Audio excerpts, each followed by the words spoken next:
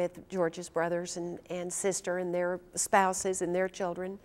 I write in my book how I was an only child, and I knew it was a great disappointment of my parents that they didn't have more children, and so it was a disappointment for me as well. I wanted brothers and sisters.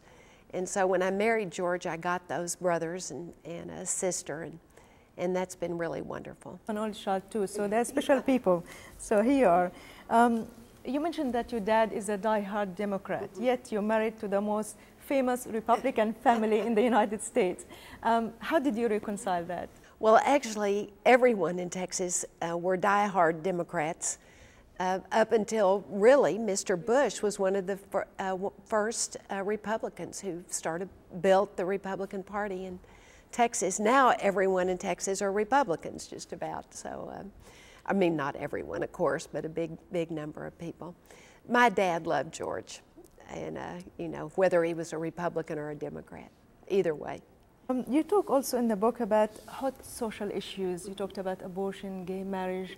Um, now you're talking about it publicly, but during your time in, when you were in the White House, you couldn't. Do you think that because it could have harmed the president's uh, chances of re-election? Well, actually, I knew that I was not the one elected. Uh, and I'm very understanding of George's positions on both of those issues. I, I totally understand them and have sort of a slight ambivalence about those issues myself, really, because of the uh, because of knowing how he feels. And um, I, I knew I was not the one elected, and I wanted to do whatever I could to support him while we lived there in the White House. And, and I did. You know, I worked on issues that I had expertise in, like education or literacy, and uh, founded the National Book Festival, uh, those sort of things that, um, that also promoted the, uh, the same issues that he was working on when he worked on education reform and and uh, making sure every child in the United States got a great, great education. Of course, traditionally, the First Lady is not supposed really to talk about politics. Well, I think the First Ladies can, and we know they do. Many, many First Ladies have. Um, and I did talk about politics. I campaigned for, for Republican candidates and um, talked about a lot of issues. You know, certainly I was very outspoken about in my support for the women of Afghanistan and for education for women and girls everywhere, worldwide, um, and for women's rights to make sure that women are treated um, in a fair and just and, and treated with respect in every country. Um, you also told me uh, before in previous interviews that the president had many advisors, yet you are the closest, you are the confidant.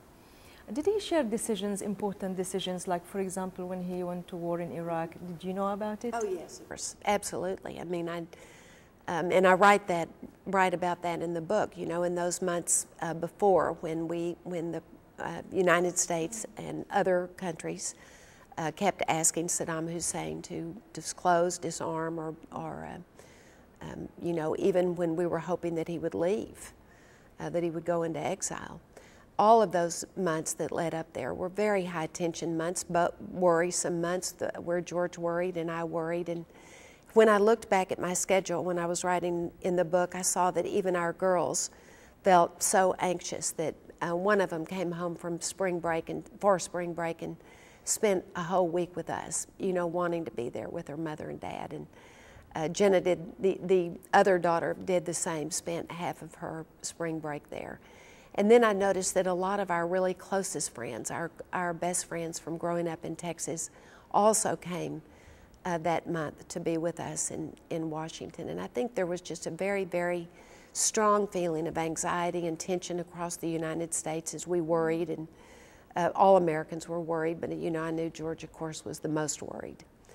And uh, when I looked back, I could see that our friends and, and our family came to be there uh, with us to, to um, support us emotionally. Not to come talk about issues, right. uh, but just to be there with George.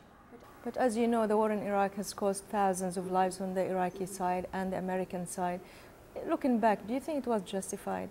I do think it was. I think that, um, no, I don't think anyone would suggest that they wish Saddam Hussein was there. Um, I hope that Iraq can stand up a good uh, democracy. It looks like they have. They've had a number of elections um, that that um, have been, you know, considered fair and, and free, and And I think that's very, very important. I hope that both in Iraq and Afghanistan, uh, that the citizens there will come together and build their countries in good ways so that their countries are just countries and protect the rights of all their citizens, women and men and children. And I think they have the chance to do that now uh, in both countries. And it's going to be really very important there for, for uh, the people to realize that when you build a democracy, it requires everyone's participation.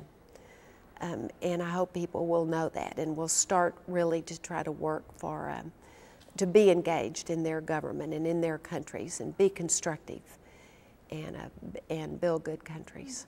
One of the things I also noticed in the book was um, that actually after the fall of Saddam Hussein, you found a picture of, of your daughters, uh, No, Barbara and. Jenna. No. I mean, the Secret Service found a picture there in the uh, palace of Uday, which is Saddam's son. And they, they informed you, and you were worried because you thought they might be a target for assassination. Well, no, I would, did not. I wouldn't, wasn't worried about that. Uh, I just, you know, it just sent a chill through me, really, to think that they had Barbara and Jenna's pictures up. Our troops found it. The troops found it, right. And wh- why would they think they kept it in the, in the palace? No, I have no idea. Um, also, I wanted to go back to another um, day that is very memorable and probably change America forever, which is 9 11. Um, you talk in the book about uh, what happened, where, where you were at the time, but also you told us about um, the story where a plane was circling around the White House and you and the president were whisked into a bunker. Tell us the moment, what happened there? Well, that night, um, this was after the uh, planes had crashed into the World Trade